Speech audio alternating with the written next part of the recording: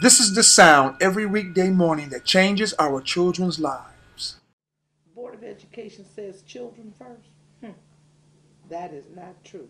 They need to change that slogan because our children do not feel it. Do not feel it at all. It's a big business. See, educators don't run the, the, the system. Before it was educators running the system. Now we got businessmen. And so they thinking business savvy. I need to dump these schools because they're not bringing us any money. And so when I see people talking about this is a business, I've been in business. A school is not a business. Save our schools! Save our schools! Save our school In schools! 2010, schools from around the nation were faced with closures, consolidation, and turnarounds. This is the story of one school and one neighborhood that chose to fight back.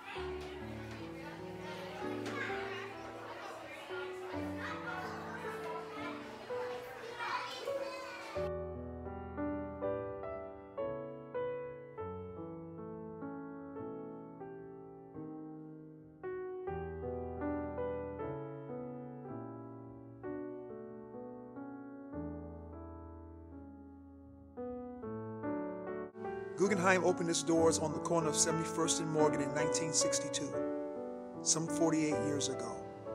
It has been a staple of the community. Though the neighborhood of Englewood has changed a lot since then, one thing remains the same, and that's the support and loyalty of an institution that is fighting to the very end to stay open. I got a prayer that I'm gonna pray that this school will not be closed. And I believe God that whatever the reason is, I don't know the reason, but whatever the reason is, that God will move it, that God will supply the needs, that this school will remain open. Because this is an asset to this neighborhood.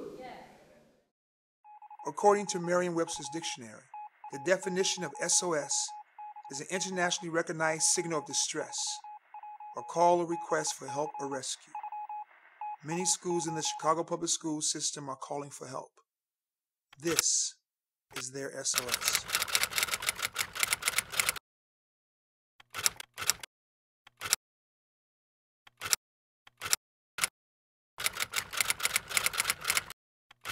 More than a dozen Chicago public schools get a failing grade. 14 elementary and high schools will be closed, consolidated, or given new staff and teachers as part of an overhaul plan that was announced today. Some statistics are challenged by qualified people who care. I first saw the data that they used to identify the school that's failing. I was appalled because all in, in all the years I was at the school, 34 years, and in 34 years, our school was never identified as a failing school. As a matter of as a matter of fact, our school was a model school, and we had people from all over the world. I mean, the world that visited the school because of our novel approach to education.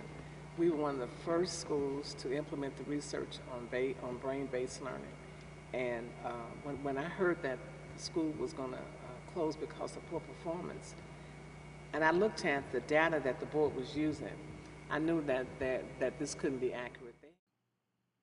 As a filmmaker and former student of Guggenheim, I knew this story had to be told, and so did many others. So I have to say we've got to fight this, and I'm so glad you're here. I'm so glad you documented because we're going to do this. On the evening of February 3rd, 2010, the night of the CPS board hearing, I walked the hallways of my former school greeted by respectful smiles from everyone associated.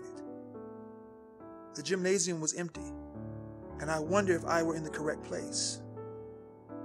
I saw the posters on the wall created by the students urging that everyone do all they could to save their school. Would the community put up a battle? Would they turn out to voice their displeasure over the proposed closure? Soon, I would have answers to my many questions.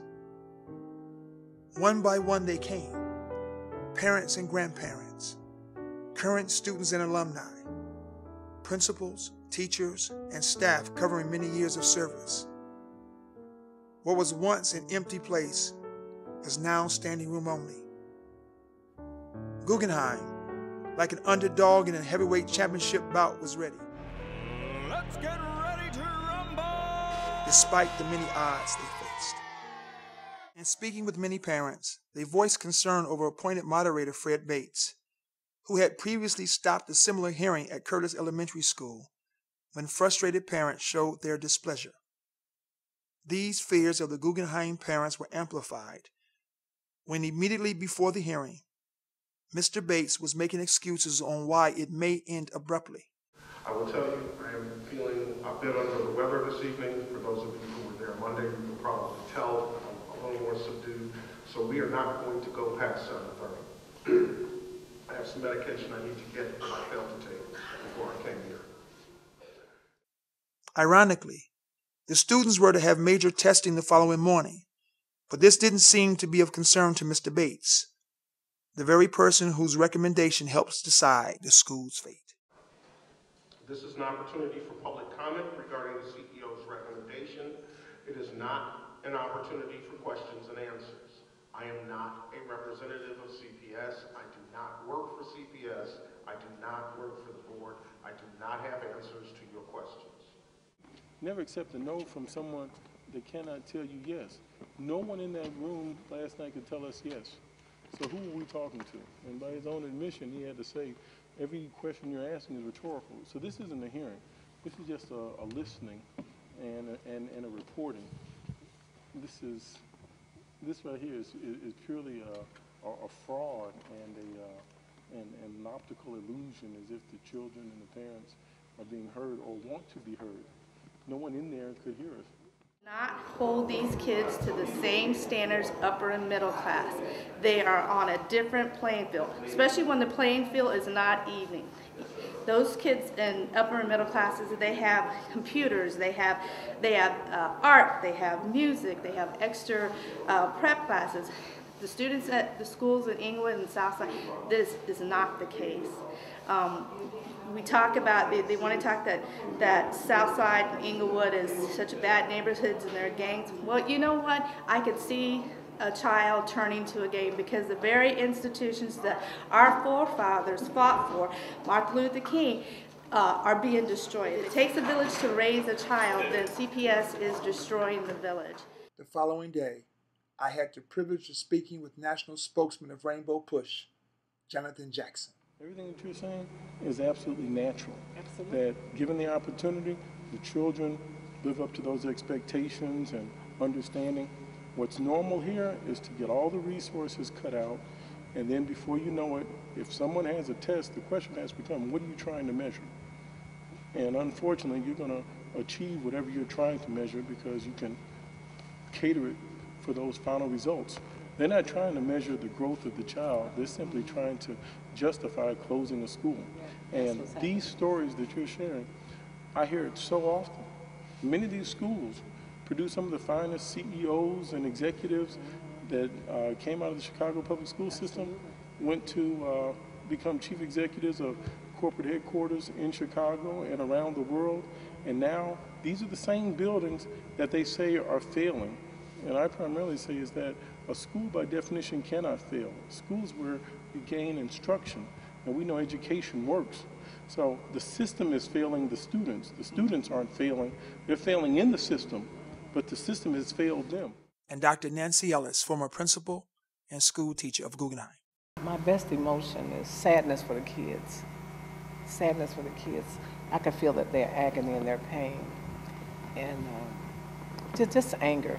You know, just anger that people uh, have such disregard. The fact that they would uh, make the announcement, the pronouncement, a week before standardized testing just angers me so much.